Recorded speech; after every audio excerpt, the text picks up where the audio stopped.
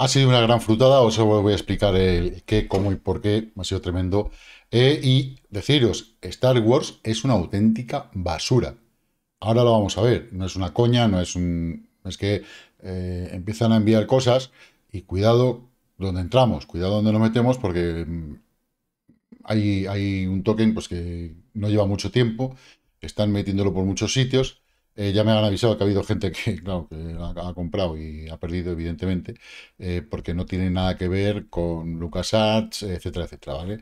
Em, teníamos que tener hoy un vídeo, un vídeo súper interesante que lo tendremos para la semana que viene, pero ayer Alex perdió a su compañero, lo tuvo que sacrificar, eh, está hecho mierda y claro, evidentemente no estaba como para haber grabado ese vídeo ni de coña.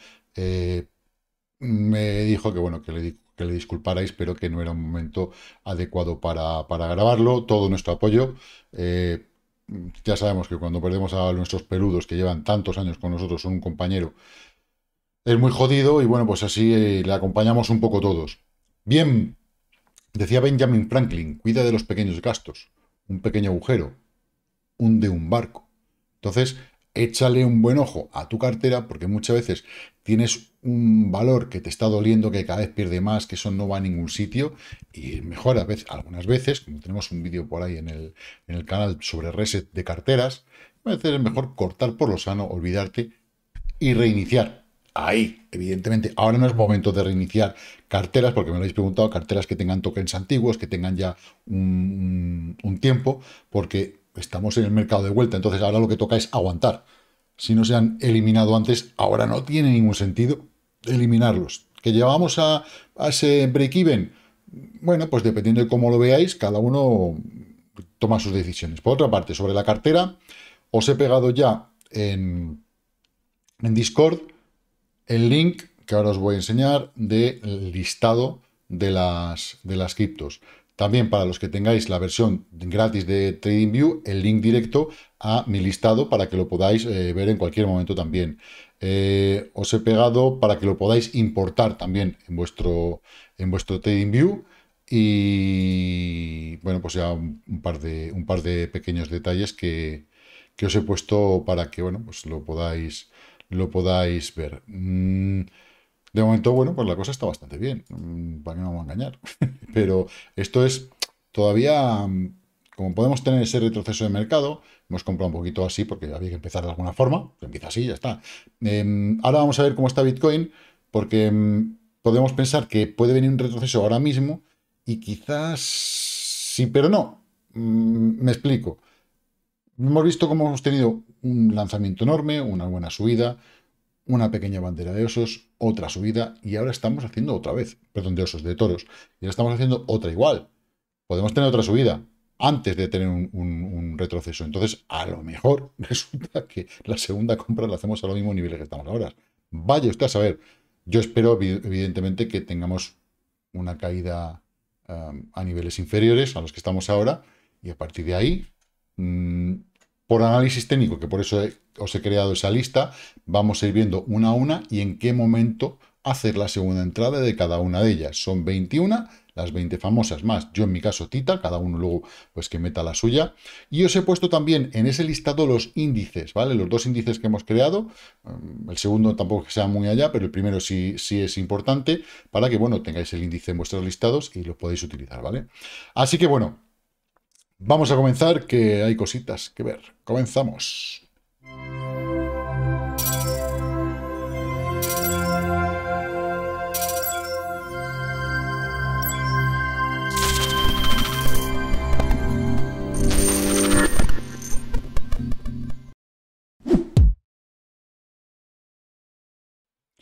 Bueno, mm, le has dado ya like, te has suscrito, no. Bueno, si lo quieres hacer en cualquier momento del vídeo, hazlo, pero no te vayas sin hacerlo, porque vaya tela. Hay veces que yo digo, eh, ¿qué ha pasado? ¿No le ha gustado a nadie? Dios mío, qué desastre.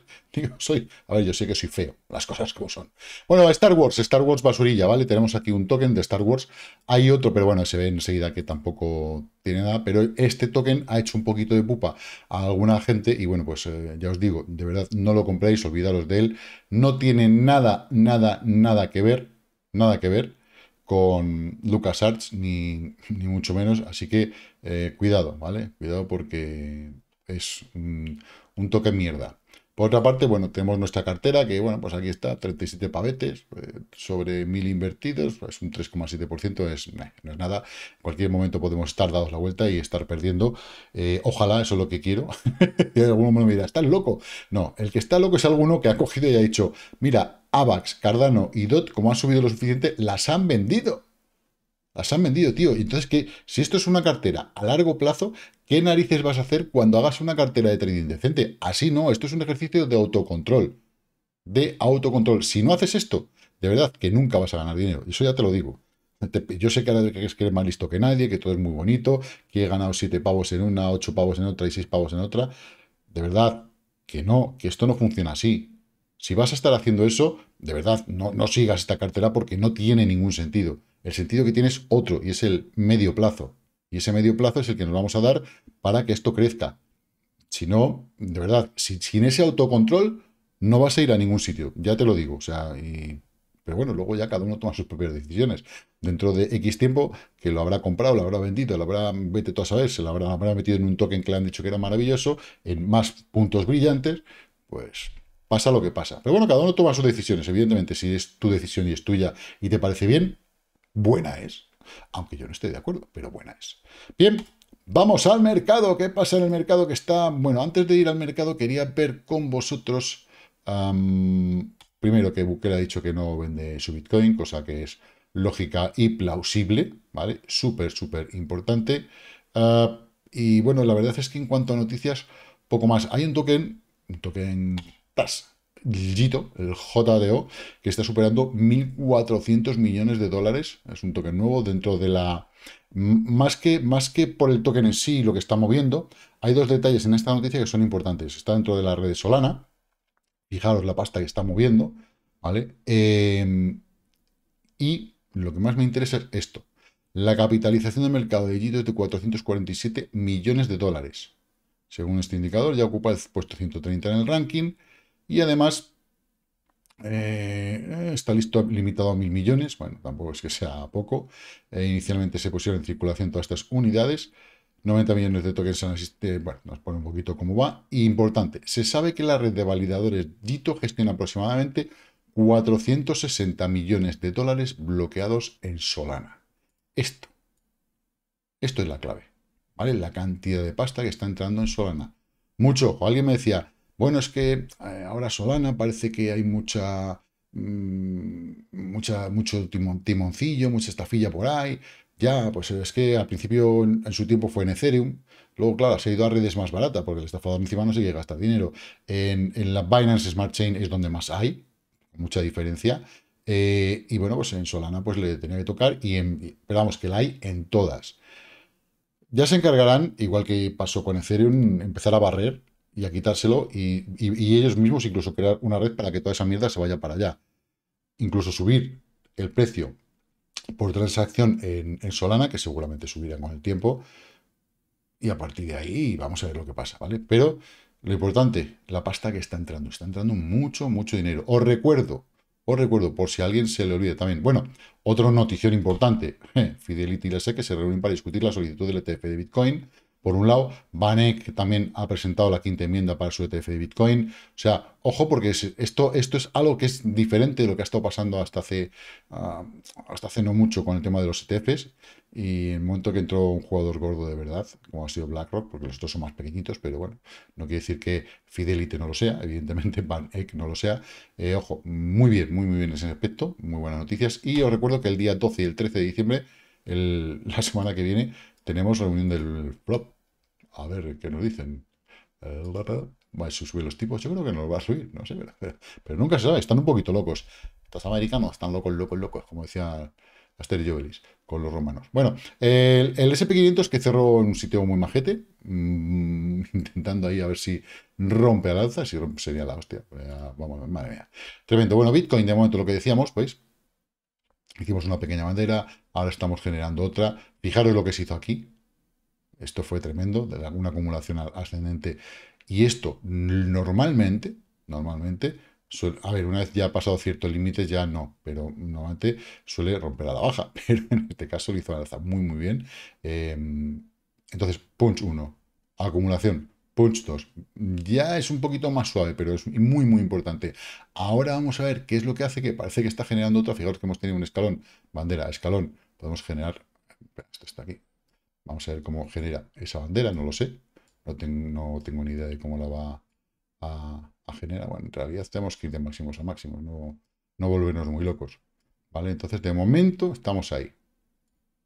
De momento estamos ahí.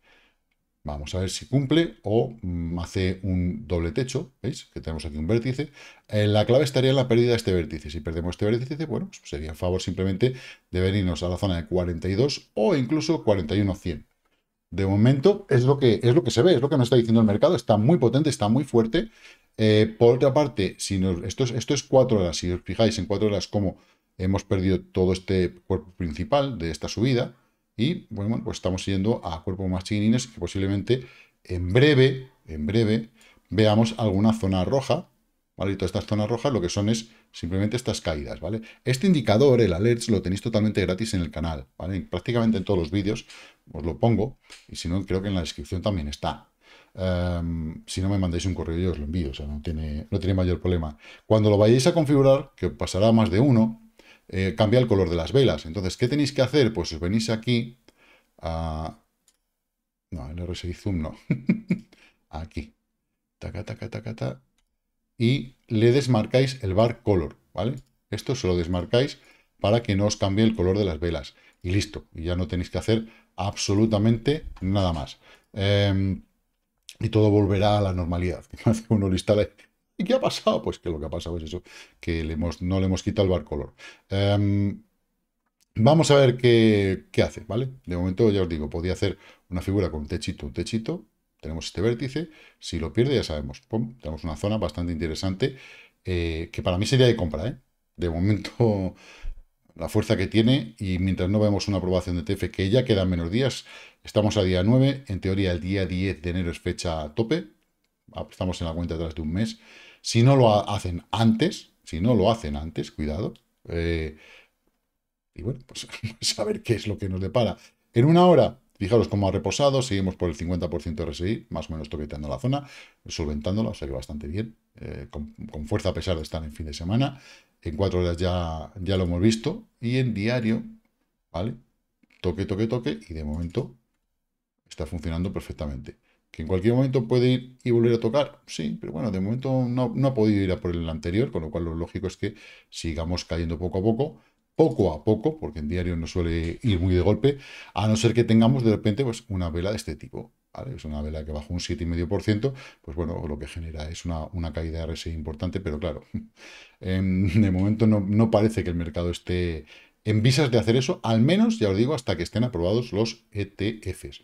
Eh, por otra parte, el volumen está siendo bastante bien, fijaros que estamos en 1.60, a pesar de que la dominancia de Bitcoin sigue cayendo, yo ya he caído, ha estado cayendo bastante, eh, bueno, bastante, tampoco es que sea un montón, pero para lo que ha estado subiendo, a la velocidad que ha subido, pues bueno, también está cayendo a, esa velocidad. Y fijaros cómo se ha ido a mínimos, de, a mínimos desde esta vela, ¿vale? Dos velas importantísimas, una de parada y llevamos tres velas de caída.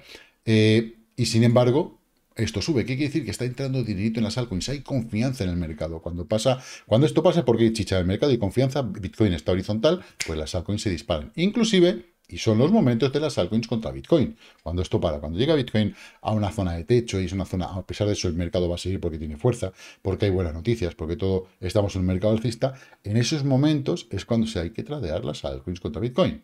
Si no, pues las tradeas. Si las tradeas contra Bitcoin tendrás que tradearlas en corto porque Bitcoin las va a ganar.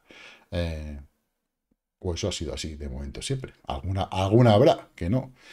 Bien, eh, bueno, el dólar index a lo suyo y las altcoins, Cardano, Cardano, Tardano, boom, boom. Está ahí a tope. De momento se está desinflando un poquito en el día de hoy, como le está pasando unas cuantas, a pesar de. Pero bueno, a pesar de eso, para trading ha sido fantástico. Bueno, está la lista de, las, de la cartera de las altcoins. Yo no quiero ver la, lista. Que por cierto, os he pegado la cartera. Veis que tendréis dos apartados: la cartera y los índices, ¿vale? Tendréis el índice principal en el que estamos trabajando para ver en general una posición de compra, que probablemente será en la zona de los 1200 puntos, de nuestro índice, em, por un lado, y si abrís, pues tendréis aquí la cartera con las 21, en mi caso, Tita, eh, ha sido la 21, mm, ya aquí podéis poner, poner la que queráis. Entonces, de esta manera ya te vienes directamente a ir analizando cada una de ellas de una forma rápida, sencilla, sin tener que buscarlas en todo el listado, ¿vale? Para ver si vas a entrar y cuándo vas a entrar y cómo vas a entrar y, y si quieres entrar tú por tu cuenta o que decides esperar a que, bueno, pues en la comunidad veamos mmm, IOTA. IOTA a lo mejor hay que esperar a ver cómo va a romper la siguiente o si tiene un soporte que sea mejor para comparar un poquito más. Link o Caspa, por ejemplo, que estaba retrocediendo un poquito, por fijaros. Banderita, ha ido para arriba, de repente la ha perdido, ahora está aguantando, ¿vale? Es un poquito lo que tenemos que ir viendo y es lo que vamos a ir viendo eh, en cada momentum para decidir, oye, ¿qué hacemos? ¿Vale? Eh, yo os diré lo que yo hago cuando lo vaya a comprar y cada uno, si quiere seguir la traca, pues que siga. Eh, Litecoin la tenemos retrocediendo un poquito. Igual, Naka, pues igual, está haciendo el retroceso. Sería una muy buena compra si conseguimos comprar aquí. Y dice, joder, si a lo mejor podemos comprar aquí, ¿por qué hemos comprado aquí? Pues porque en algún momento hay que entrar. ¿Qué más da? ¿Qué más da cuando sea? Si es a 12, 18 meses. No importa, no es importante. De verdad, Río, que la tenemos en OKX, no la tenemos, eh, es la única que no tenemos dentro de KuCoin, así que bueno, pues ahí estamos también, ¿vale? Alguien me decía, ah, es que KuCoin, pues KuCoin, lleva más años que la caracuca. Y a KuCoin, pues le, han intentado hacer la 12-13 con muchas cosas durante mucho tiempo. Pues, pues tres cuartas de lo mismo. O eh, KuCoin está fuera de Europa, está fuera de. está en Asia. Así que. Ahí no. quieren tener control sobre todo, pero. Nati de la Plati. Bien, eh, y bueno, así, así un poquito, así todo, ¿vale? De esta forma tenemos un mejor control de todo que para eso tenemos herramientas que nos lo dan. Si, no tuviéramos herramientas, pues como nos pasaba en los 80 y los 90, que pues eso, cogías el ABC dominical, la parte económica, veías las gráficas y ahí pues lo apuntabas al cuaderno.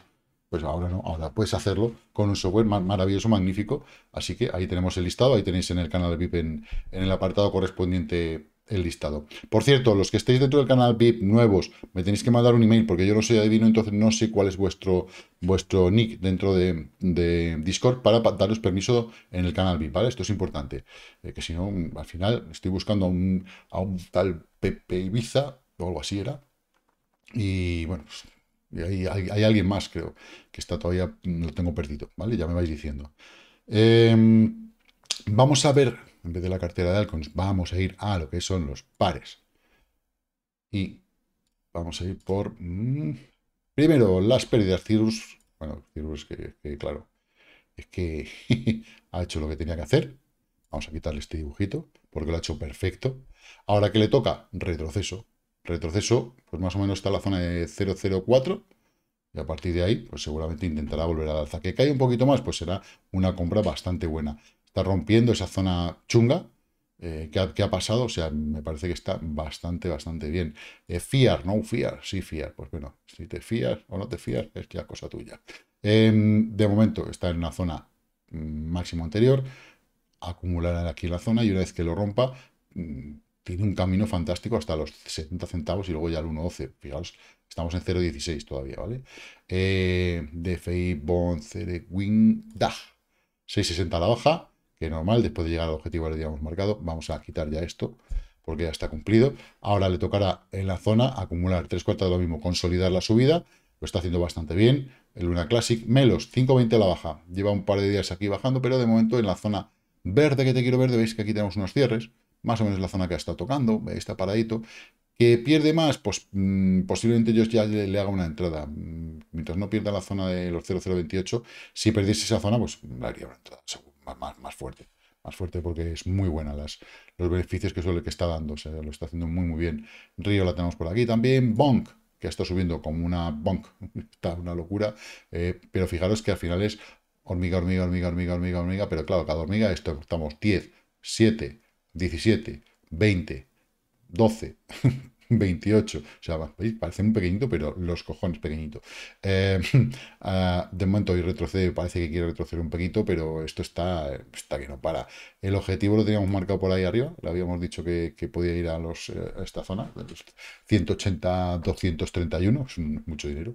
Eh, bueno, pues, yo creo que llegará. Vamos a ver. Flux, buena cosa también, Flux. Aquí anda, rompió la zona de la línea de tendencia principal, vamos a abanicarlo a más o menos ahí. Ahí, ¿vale? Toque, después de haber roto la inicial, ¿vale? Nos vamos a la principal, ahí.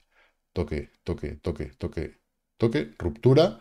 Bueno, de momento, para mí a partir de, un, de uno sería interesante. Mientras tanto, eh, vamos a esperar el siguiente retroceso y se, sería una muy buena compra. Eh, sé que hay gente que lo está metiendo en la cartera, como 21. Creo que ha habido varias personas además que me lo han dicho. Eh, así que bueno, creo que una muy buena zona será la 0.50. Si hay un retroceso, 0.50 sería una zona de compra muy buena. Y si no hay un retroceso importante, 0.57 creo que va a estar bien.